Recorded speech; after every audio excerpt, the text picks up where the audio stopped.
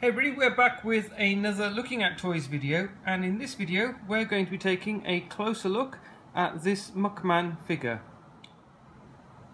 This figure has to be one of the uh, most hotly anticipated figures and as we can see quite a lot of detail in this figure despite it being a basics figure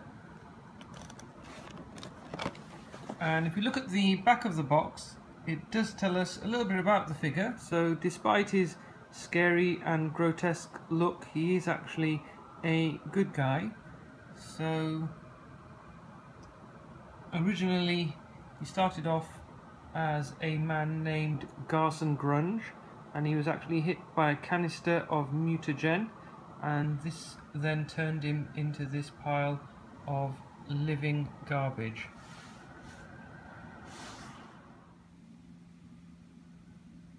So taking a close look at the figure, we can see that he has articulation only in the shoulders and the hip.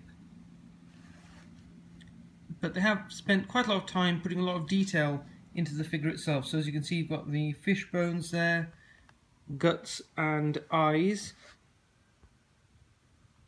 And it's not really obvious, but you can see some of the intestine running through the back of the figure as well there.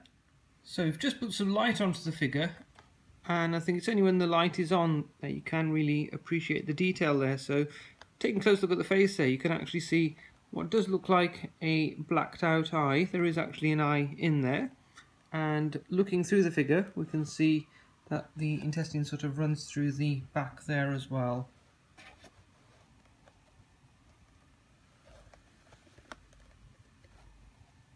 So this figure has only just come out. Don't believe it is out as yet in the UK. We're here in New York and this is where we've picked this one up. So our channel Looking at Toys does of course feature rare and collectible toys. So if you do like looking at toys then do be sure to subscribe to our channel. Any comments are welcome down below and do be sure to drop us a like.